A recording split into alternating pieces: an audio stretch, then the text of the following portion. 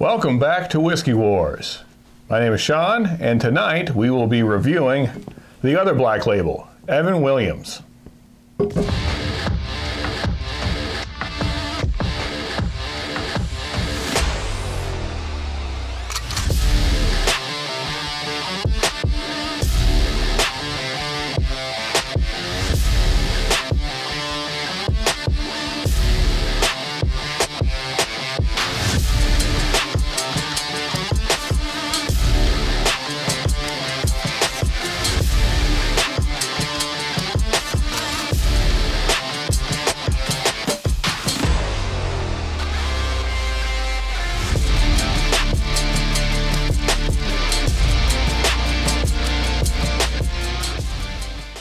So here's some things you can impress your friends with, or yourself, or whoever you like to impress, or actually they probably won't be impressed at all because you'll be drinking whiskey and no one will care.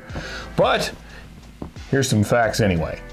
So the current Evan Williams distillery that is now in downtown Louisville in what is called Whiskey Row is actually almost right across from the original distillery that Evan Williams started back in 1789. Now, besides starting this distillery, Evan Williams was also a stonemason and the local wharf master. Being a wharf master, this allowed Evan Williams to purchase a very large still, which then enabled him to start his distillery. Now, Prohibition ended the distillery that was Evan Williams, and they were having troubles before that anyway, but after Prohibition, a lot of investors uh, found out about uh, this Evan Williams whiskey brand. They purchased that as well as many other whiskeys that would become what is now Heaven Hill. Uh, the issue was, though, is that none of these investors knew anything about whiskey. They were just businessmen. So, because of this, they hired people from Jim Beam, the Jim Beam family. And Earl Beam became the first master distiller at what is now Heaven Hill. So, now that we know the history, let's see what's in this bottle. Now, a lot of you folks are probably familiar with this. Oh, yeah. It's a pretty popular whiskey, one of the top selling in the world. Actually, the country.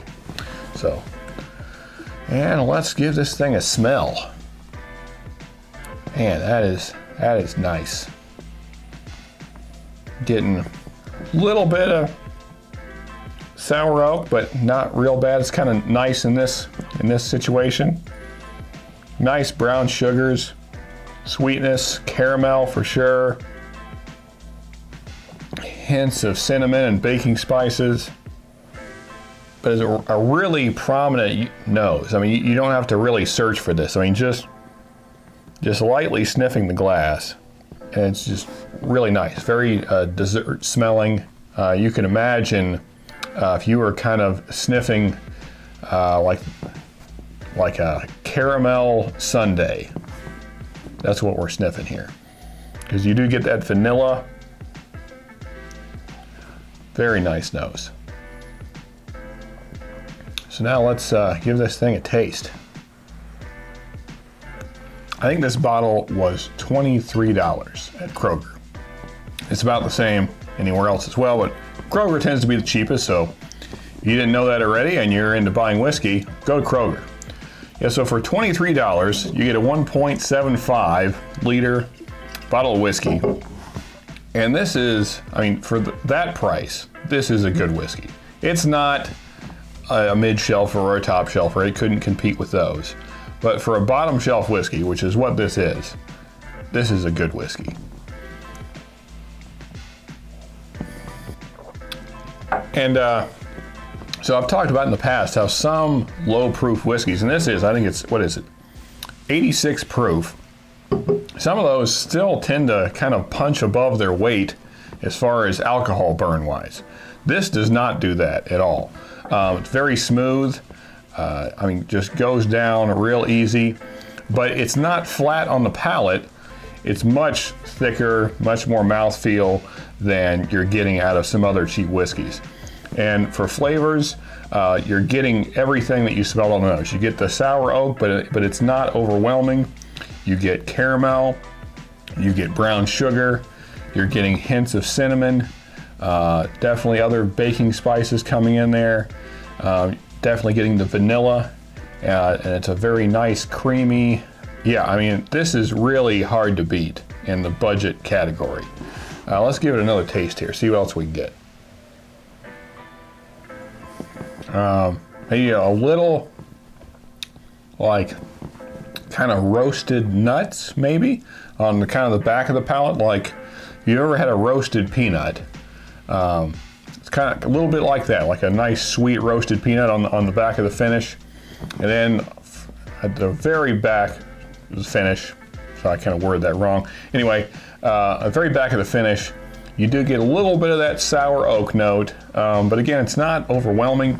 It's still kind of pleasant, just kind of a difference in flavor from the sweet uh, palate. Yeah, all in all, um, you know, this is not my favorite whiskey by any means, but uh, if you're looking for a good budget daily drinker, Evan Williams is really hard to beat.